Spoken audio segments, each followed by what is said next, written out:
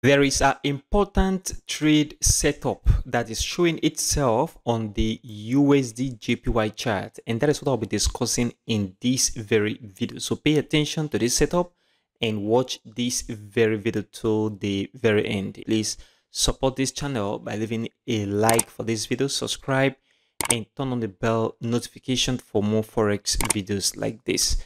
Also check the channel for more forex content on the USD JPY chart, if you notice this chart is moving to the upside. So regardless of the fact that we see this very drastic move from here to the downside, market is recovering. But this recovery that we're seeing right here is not strong as compared to the move to the downside which is very very important. So that means the market is showing reduced momentum to the upside on the one day chart.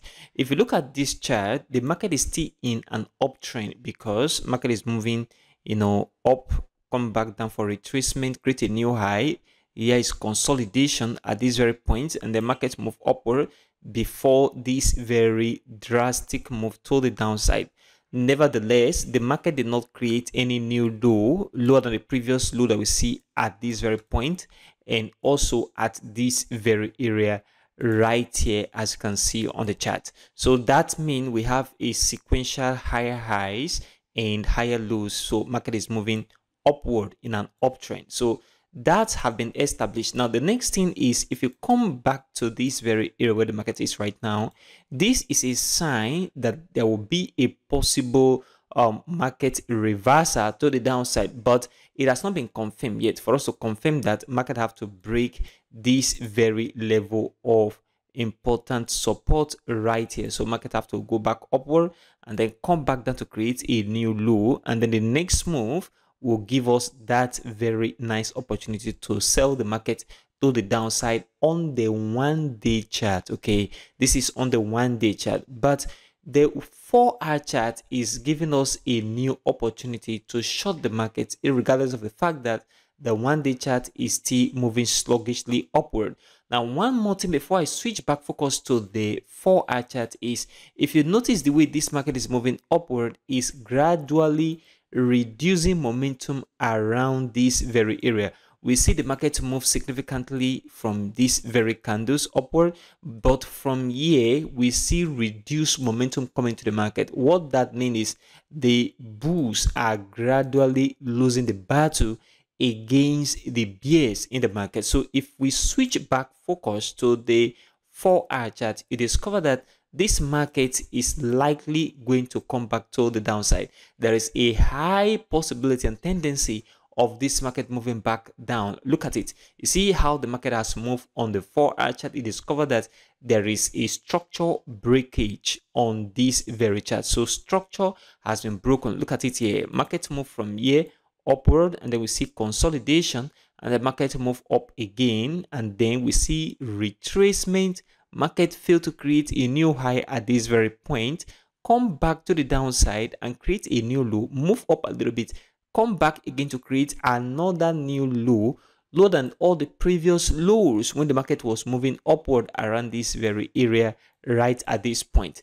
right now, I am expecting this market to come back from this very area where the market is right now of 156.40 on USD JPY chart. So if you take a critical look at where the market is right now, this very point, I am expecting the market to begin to sell off from this very area of important resistance. So if I take my two right here and then I mark this very level out, this is an important level of resistance which is also a supply zone. Why? Because the market moved drastically for these three candles to the downside before this little retracement and the market continued that very movement downward. So would this mean that the market is going to move downward from this very area where the market is right now is one entry point because the market have collected liquidity from this very area then market have capacity of moving a little bit into this very area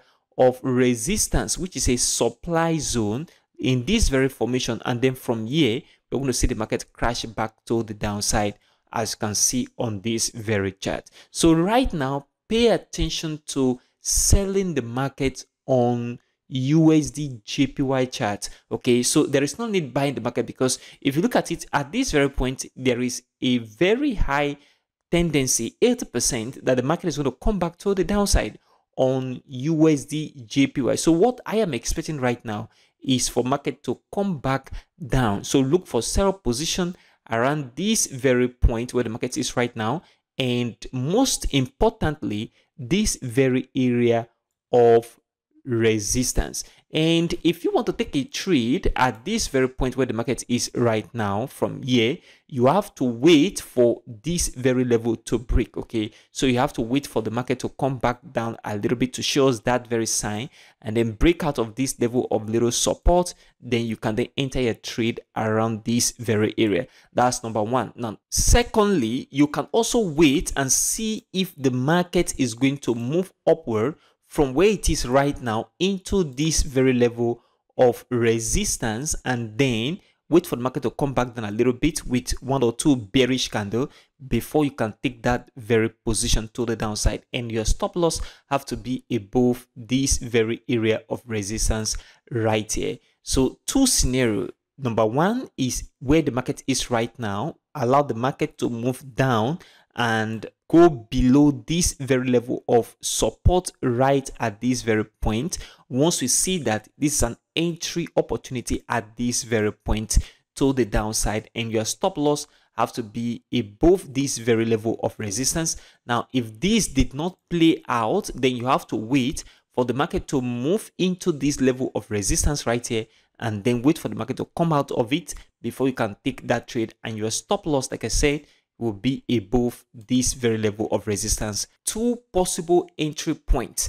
The first one is at this very point right here, and then the second one is at this very level of resistance. When market come out of this resistance, is a nice point to take a trade at this very point as well. So these are the two possible most important area that you can take a short opportunity from or a sell opportunity from on USD JPY right now. This is a very, very nice and important setup that have presented itself on the chart right now. So if you move back a little bit to, to the one day chart, we want to take this trade on the four hour chart based on the fact that on the one day chart, we've already seen reduced momentum, just as you can see right here on the chart, like I explained earlier. There is reduced momentum right at this very point. So it means that the market have capacity of moving back to the downside from this very area on the one day chart and the time frame we can spot out this reversal very early is on the 4 hour chart like I just explained. So take advantage of that very trade opportunity coming out in the market right now on the USD JPY chart. Please support this channel by leaving a like for this video, subscribe to the channel and turn on the bell notification for more forex videos like this. Also check the channel for other forex content. Thanks for watching today's video and I will see you in the next video.